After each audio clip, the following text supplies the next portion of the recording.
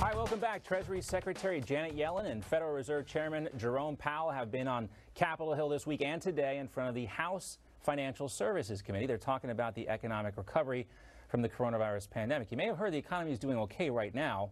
They are touting programs put in place so far, and they say they have a positive outlook on the horizon. But this comes as Congress is also trying to avoid a looming government shutdown. Seems like things are moving in the right direction, but who knows? Let's welcome in now the CEO of Stock Swoosh, Melissa Armo, also with us, business and market analyst Seth Denson, who has a great new column up on Newsmax.com. We'll talk about that in a second, but great to have everyone with us. Uh, Seth, first to you. I- I'm so confused because you know you look at some of the economic indicators, things seem to be okay. You hear about Jay Powell and Janet Yellen telling us everything is good, could be better, but it's not bad. But really, I mean, you know, where do things stand, Seth? Give us some insight. Yeah, th- these are the same people that said that this inflation is transitory, right? And that it would only last for a short period of time They're and it changing their go back tune down. on that one, aren't they?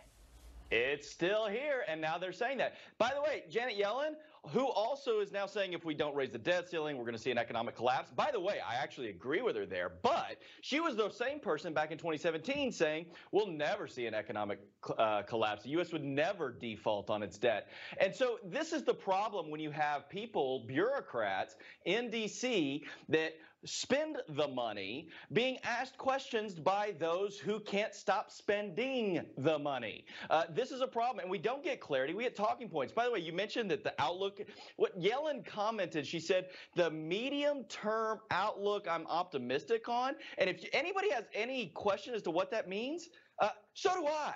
What does that mean? Give me details. I can't What tell you what's gonna happen tomorrow. Seth. I'm lost. I can't tell you what's going to happen tomorrow or next week, but medium term is some, you know, vague kind of time in the future that we don't really know what's going on here. So what do you think, Melissa? Where's this going? Well, Jay Powell actually admitted today that they don't know how long that this inflation is going to continue because he actually said it's based on the supply chains and what's happening right now where there's two problems going on. One, we're having a problem getting the truckers to work to ship the goods. And two, there's a backup in the ports because again, there's COVID restrictions and guidelines and we don't have enough workers. And then there's a demand. There's a demand for products and services because we were shut down for several months last year, or, or at least we were, for example, here in New York. And people now want to spend money, want to go and do things and buy things. And now we're getting into the holiday season, which is going to see more increased buying. And we just don't have the people working to be able to get the goods and services out there. So costs are going up. So we have inflation. And then we also have the Congress that wants to spend all of this money in this $3.5 trillion plan. And then, as Seth had mentioned, as far as the, the debt ceiling coming up to the deadline. So there's a lot going on right here. What I find interesting about what Janet Yellen said today is someone asked her today, one of the congressmen asked her today, do you think that this is going to cause zero? Because Jen Psaki had said that earlier in the week. She said yes. She actually said yes. I mean, that was the most irresponsible thing she could have ever possibly said. These people are so partisan. They should not be in these roles. Powell, I got to give him credit. He's trying, but I bet they don't renew his term. I bet he doesn't stay because this administration, if you're not on board with them, a hundred percent, a thousand percent, you're out.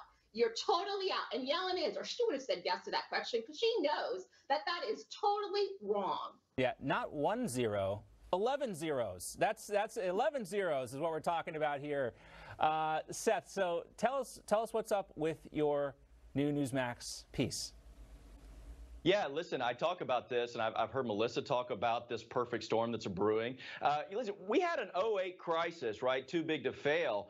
And, and unfortunately, Americans have had a short term memory of what ultimately caused that. And you have a president who, quite frankly, I think is aging and doddering. And then you, you have uh, the Department of Treasury that's now just vying for him, as is the, the Fed. You have Congress with expenditures. You have a U.S. asset bubble that I think is easily ready to pop. And then you have China. China is that ever consistent group out there that's watching. They watched what we did in 08. They just had their possible too big to fail moment with Evergrande. By the way, assets of which may be held by organizations that hold assets in your 401k. Yeah. And, and what are they doing? We're going to let it fail.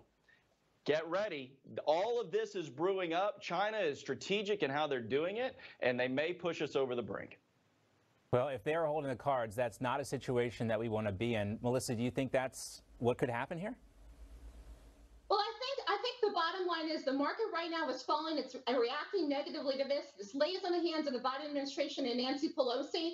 I don't think they're going to not pass the the increase in the in in the budget. They're going to pass that. They're going to raise the debt ceiling, but the market right now is falling and reacting negatively. And I think it's still going to react negatively even if they end up passing that because we're spending too much money, and that's the bottom line. All right, so it's Thursday. John, we needed a market correction. We needed a market correction before the pandemic. It was we were in extra innings already. That hasn't changed. We just kept the game going by throwing more money. We're building a bigger boat instead of patching the hole. Yeah. Well, when it comes to the debt ceiling, uh, it's Thursday at happy hour today. Every time you hear uh, someone on TV say, kick the can down the road, you got to drink. I know we're going to hear it a lot today. I won't be in tomorrow. Great to see you, Melissa and Seth. Thanks so much. All right, guys, stand by. We still have a whole new hour of John Bachman now still ahead. We got our friend Dave Rubin checking in from the Rubin Report. We're going to talk about all the insanity, not just with the trillions of dollars that Democrats want to spend, but also with the vaccine mandates. Don't go away.